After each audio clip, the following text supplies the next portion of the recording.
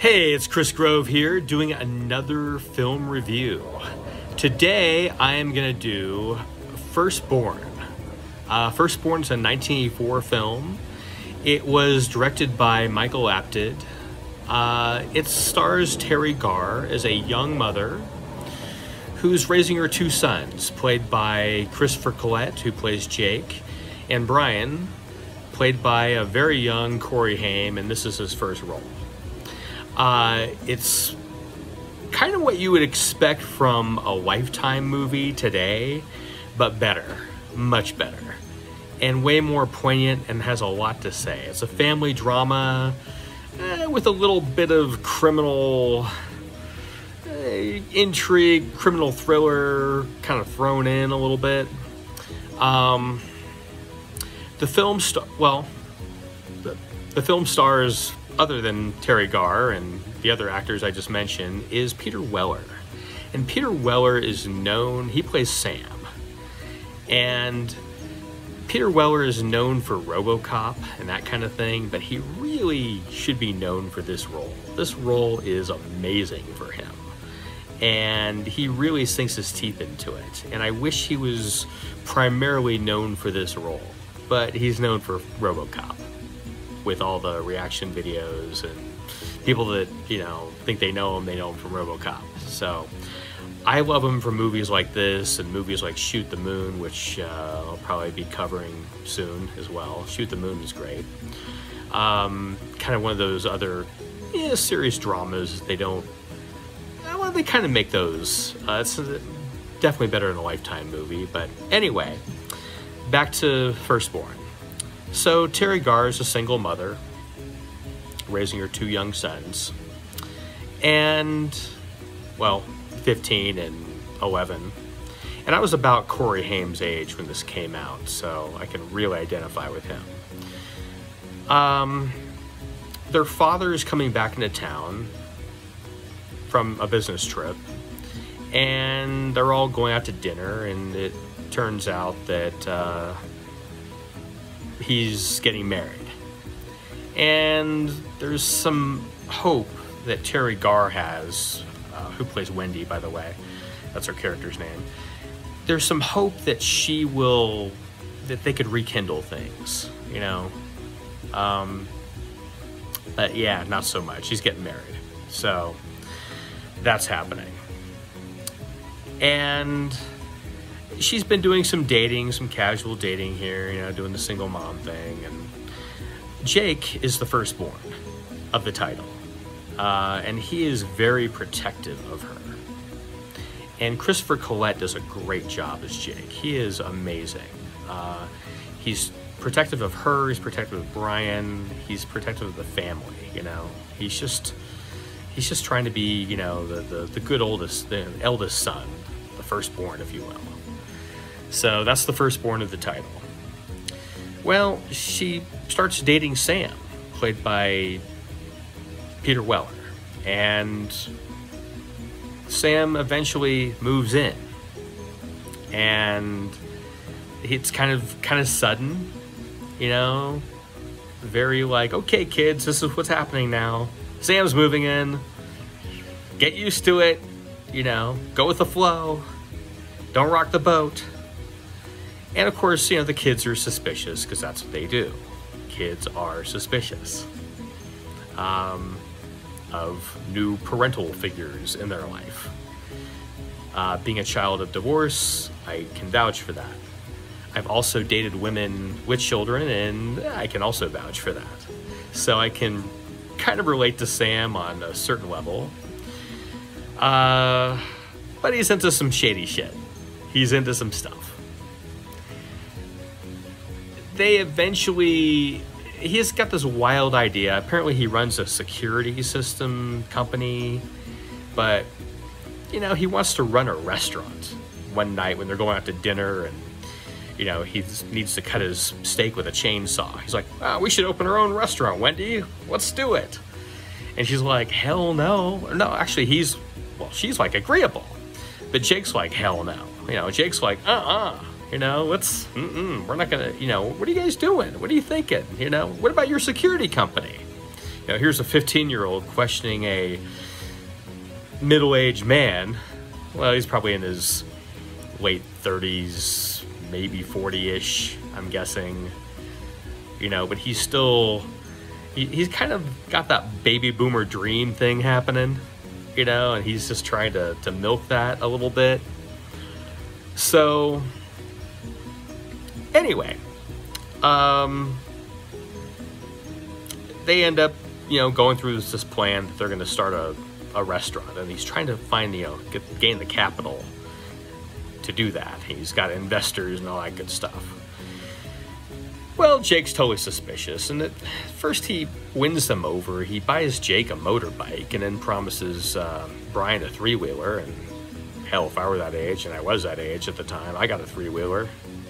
You know, that was like the best gift ever. So, you know, he's kind of he's kind of trying to bribe him a little bit, or you know, earn their trust. Maybe I don't know. He's kind of trying to buy him. Um, but it's sweet and it's endearing, and he seems kind of like the good stepdad figure. I mean, they're not married, but it's he's the good stepfather figure in their lives.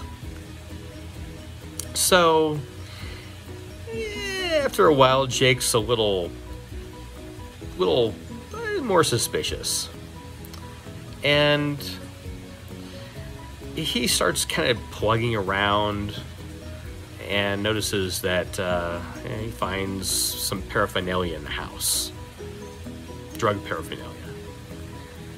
Uh, later on, he finds some cocaine. So that's how Sam's planning on financing this restaurant, just selling a bunch of coke, basically. So Jake has been kind of like this model student. He's got a wonderful girlfriend played by Sarah Jessica Parker. I know, big name. One of his best friends, or actually, I think his actual best friend, is Lee, played by a very young Robert Downey Jr. So he's also on the well, he's on he's on, he's got some great friends, but he's also on the lacrosse team, and he's good at it, and he's he's you know he takes his schoolwork seriously and but he's got this one English teacher who's just a total asshole. He'll call out kids in class. You know, he's the kind of guy that'll be like, "Yes, you got an F and you earned it." You know, kind of guy. You know, not just see me after class and we'll talk and you know talk about your future, but he, he calls him out in class, which is just so wrong on many levels. So he's one of those teachers, and his grades start to slip. He starts to get more aggressive on the lacrosse field as Sam is entering the life and uh, entering his life and his mother's life and his brother's life. And, you know, he starts to act out a little bit. And there's one scene where he calls out the teacher on his on his bullshit, basically, and it's glorious. Then he takes off on his motorbike and you know rides like a bat out of hell, and it's just a great montage scene he's really acting out though in you know in in a big way. And, and his brother brian he's having to bail him out of getting into fights at school. And he's becoming more violent and bullying more. And you know all this stuff is so real. And i could totally see happening in this real life situation. Also wendy is now a cokehead. But sam's got her on coke. You know, they're having cocaine parties with his pinball machine downstairs, and you know, they're inviting all the the, the boomers who want to relive the '60s, and you know, grass, they're having a nice uh, coke party.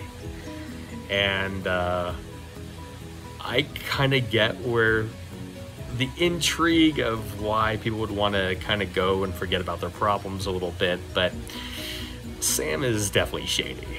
And it, yeah, I mean, not good, not good. So, so Sam ends up just basically, you know, just gung ho about getting the restaurant and just kind of like trying to tell Jake to sort of back off because there's one scene where Jake tells his mom, Hey, I'm concerned. and he's totally playing the adult here. It's like role reversal. And she's like, don't talk to me that way. Don't question me. I'm your mother." He goes, "Then act like it." Beautiful line, and Christopher Collet does it very well. Uh, Corey Haim handles his part very, very well too, in a lot of tough scenes. Um, it basically is a nice family drama. I say nice family drama. It's it, it's wow. What would you do in the situation? It, it really does sound like a lifetime movie, but again, it's way better. Michael Apted's direction is better. It's just so good overall. And it ends in kind of a it ends with a motorcycle chase and a fight. and I'm not going to spoil it completely because it's really worth checking out. A lot of people think the ending was kind of like, eh, let's sort of tack on this thriller ending to this family drama. I remember Roger Ebert said that. Siskel and Ebert, I think, were both kind of like, they liked everything up until that point. Um, they liked that it was a, a character study, really, of Sam and Jake and Wendy and all their dynamics. And you know, it, has got a lot going on there. But then it ends in this cliched mo- motorcycle chase and fight scene, and um, that's how they choose to, to wrap things up. I thought it worked. You know, I could see everything that going down the way it did go down. Uh, is it realistic? Yeah, I would think so. I could see some people saying it's not realistic, but you check it out, you decide. It's a good film. All the all the actors do a great job. Um, Teri Garr is amazing as Wendy. You know, she goes from this loving mom who's feeling really hurt that you know she doesn't have the second chance with her with her father, and she's kind of you know, on the rebound when she meets Sam. Uh, she's not kind of on the rebound. She is on the rebound. And so you you understand her point of view.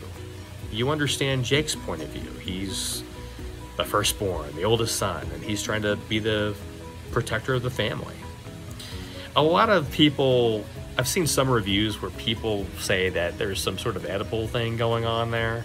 No, he's trying to protect Jake and Wendy, or Jake is trying to protect Wendy and Brian and it's done in a hey i'm the oldest male in the household and i know the patriarchy and all but you know i'm here to protect you know my mother and my little brother my little bro here you know we're and when sam lashes out his little brother you know brian which you know by the way sam uh, peter weller and and uh, Corey Haim do a wonderful job in that whole scene, and that was a tough scene. And apparently, in real life, Corey Haim was so afraid of Sam, or so afraid of Peter Weller, um, because he didn't turn it off after they yelled cut. You know, he kind of kept it going and kept in kind of method actor motive and I think at one point off camera shoved him up against the wall. So the rumors say. I don't know. But rumors are rumors. Um, sticking to the facts, though, it, it's it's just it, it's very much a solid film. Um, it's so good. It's so so good and so underrated. I remember it did moderately well at the box office and got some pretty good uh, PR back in the day. I remember seeing it in Denver with my mom. We were visiting my grandparents. I remember just seeing it there. Um, it was came out in October, and it's such a early to mid fall kind of movie. Um, the setting where they live, and it was filmed in upstate New York. You know, nice, quiet suburban neighborhood just community, had that kind of community feel to it. And I was living in the Grass Valley, Nevada City area at the time, and uh, it really reminded me a lot of that. I know opposite coast, but still had that same communal vibe. Neighbors didn't have fences between them, and you know, just hey, you want to come over and borrow whatever? Sure, cool, you know. And it just really has that kind of nice down home feel to it.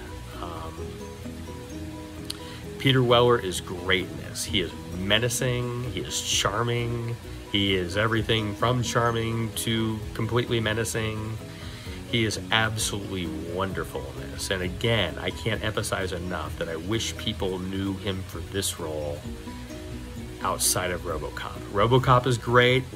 Love me some Robocop, and it's got a great, you know, commentary, social commentary on what the future might be like. Um, but this movie is just so relatable on so many levels, and Peter Weller does a fantastic job. Anyway, I implore you to check it out. It's wonderful. Do it, you'll love it, and enjoy. Like, comment, and subscribe. Catch you next time.